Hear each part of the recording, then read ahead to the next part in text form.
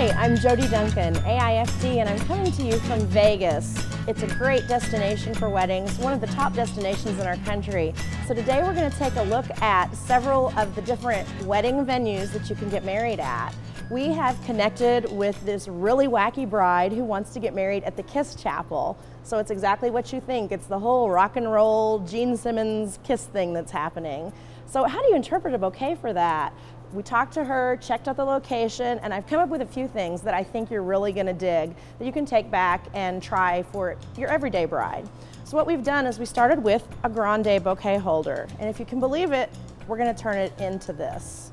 So the way we're gonna do that is with a few Uglu strips. And we're gonna just peel those right off and adhere those to the handle. That is going to be the mechanic that makes our little bear grass stick right to it. So by running the length of the handle, we can stick it on there.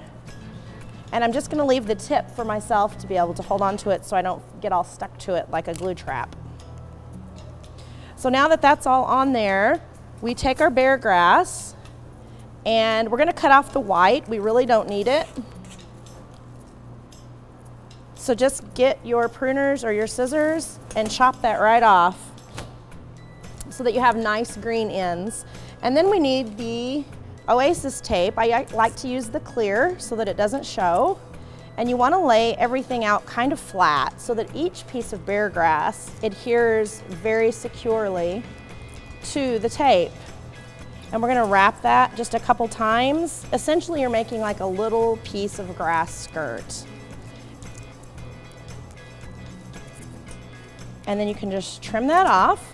So you wash, rinse, and repeat for that to come up with a whole bunch of these to cover the entire handle. And then we're just going to adhere that right to the top and go all the way around. You always want to be really careful when you're working with bear grass because you can get some wicked paper cuts Using the adhesive strips from Uglu, you can see we've got a really nice handle, but I don't want my bride running her hands on this. It would be a bad deal for her big day. So the next thing that you want to do after you've got your little bear grass going down the handle is cut just a little bit of the 12 gauge aluminum wire from Oasis and you're going to just crimp it and double it up at the end. You want it tight enough that it can fit right down in that handle and I'm just going to take a little dash and put on the side of it just to make it secure. And the handle of the Oasis is hollow. And if it's not, you can use pruners just to chop it right off. So what we're gonna do is just stick that in there to make it secure. And you can tell that it is. I like to use the green Oasis wire with the bear grass because then it just doesn't show the color of the wire. So once you've done that, you want to take your bouillon wire and secure it at the top. Just wrap it right around at the very tip top and leave a little bit of a tail so that you can come back and tie it on at the end. And so once you've got that started with your tail loose so you can tie it off when you're done, you just wrap it pretty tight. You've got to keep in mind that the bear grass is going to shrink. So being tight with the bouillon is a really important thing to remember. And as you roll, you want to make sure that the white handle is not showing through. And so you're just going to twist and hide that wire just like so and take it all the way your, into your bear grass. If you um, have long bear grass, you can of course make it longer. But we don't want to get too over the top with this bouquet, so we're just going to keep it about two feet long. And then we're going to come back. When you get to the end, you can just finish wrapping and you just keep getting that really secure. Go back to the bottom. Try not to wrestle too much with your bouillon. So we're headed back to the end of our little bouillon bear grass tail one more time. And we're gonna take it right back up to the top and just cut it off so that we can secure it to the end that we left before. So we're gonna twist that on right there and then it's done. I also wanna come back and cut this off as well because we really don't need that. So it just looks like a big stick, but what happens with the aluminum wire is that you can make really fun curly tails, just like this.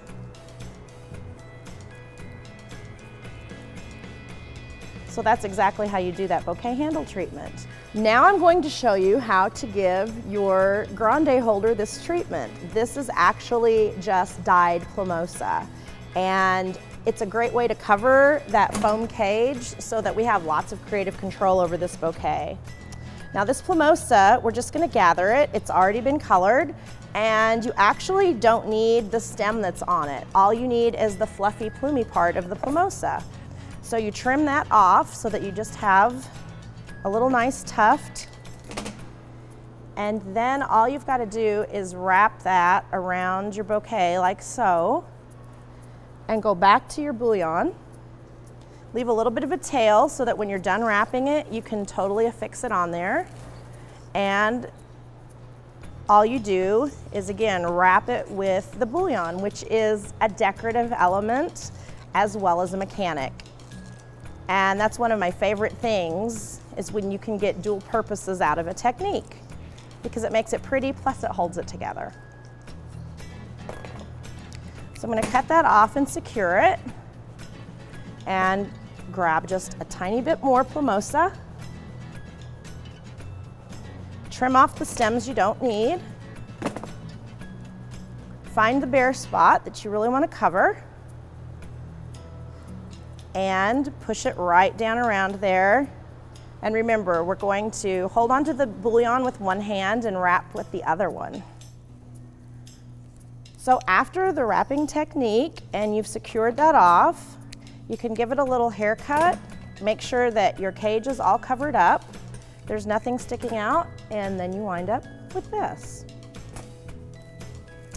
So with this kind of a bouquet, you can just be creative because everything's already covered. And then we can take a look at our wonderful product. We're going to first grab some of the red ti leaves. And I have a flower frog that is a little old school, but I actually use it as a tool instead of a mechanic. You know, I'm kind of tricky like that. So with this little tiny flower frog, we can shred this foliage to give it a completely different texture. And all you have to do is pull the leaf right through the foliage. And it gives you a wonderful texture and a little bit of sound effect. You can turn that leaf into essentially a feather. So we're gonna do that just a couple times. Push down with the flower frog and then pull the leaf right through it to shred it. And this holds up really, really well. Adds a lot of interest. People are always asking when I do this, what is that? And I said, well, it started as this and it became this. So it's kind of fun. We're gonna come back and trim this off, get rid of this foliage that we don't really need so that we can make a nice, clean, solid insertion into our bouquet holder. And the beauty of the Plumosa over the Oasis holder is that we can just go right through it very easily. You can make your insertions directly into the foam, but your foam's already color covered, so every placement that you make is one that you can make for an artful reason, not just because you have to color, cover the foam. So we've got those two placements right there, and we're gonna come in with just a few Cymbidium orchids as well. And we want to reflex those petals back so that they open up nicely. So we're going to tuck the, the Cymbidiums right into the oasis. And I just took my knife just to make a pilot hole of sorts. And then there's our Cymbidium.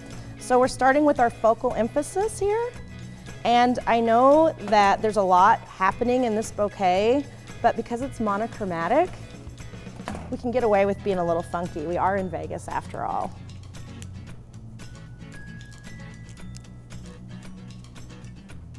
So we've got those placements right there. If we want to add a few more cymbidiums, we can just completely cut the stem off and come back and grab a Uglu, affix it to the back of the petal, peel that off, and we're going to come right down next to his friends, and he's ready to go. We also have some fantastic African mask foliage which I love. And generally we're used to putting that just directly in as a foliage. I think the back of it is so pretty and it really matches our color palette so nice. So what we decided to do was turn them backwards so that we get that wonderful color and then come in with a pearl-headed pin and turn this into a funky, almost like an anthurium. Isn't that fun? So essentially your foliage now becomes a flower just with a little bit of adhesive. We peel that right off. And we're going to just terrace this right down the front of the bouquet, directly underneath those cymbidiums, and it sticks really securely.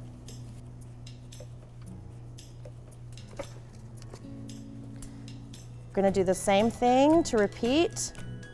I don't ever like to do just one, so we're gonna add just a few to give it some draping and a nice transition between the red ti leaves and the African mask foliage.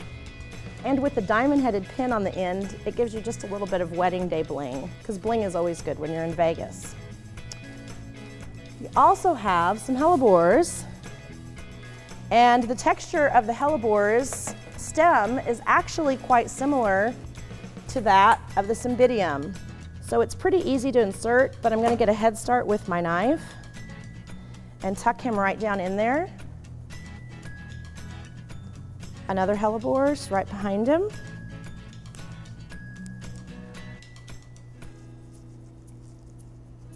And then we have some peonies as well.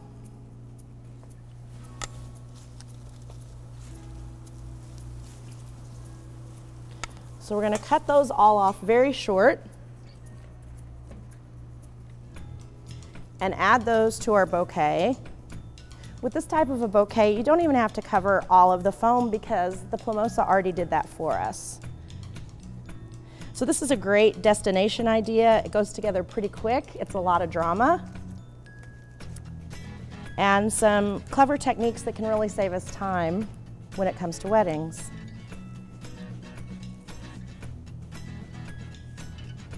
Now we've got this all in here, not a whole lot of product, but it's a super fun look for this bride. I want to come in and just add a little bit with the begonia foliage because it kind of looks a little bit like Kiss to me. And when I saw it in the cooler, I had to have it. So I'm just going to cut that stem right off and get an adhesive strip. And we're going to stick it on the top of the foliage just to frame and give us a nice transition between those placements. It's got movement and depth, monochromatic, lots of drama, and she's completely ready to go down the aisle in the Kiss Chapel in Vegas. There are lots of techniques in here that are unique and clever. Maybe you don't make bouquets for rock and roll wedding chapels every day. I don't either, but with these techniques, we can take them back to our everyday weddings and rock the weddings that we do have.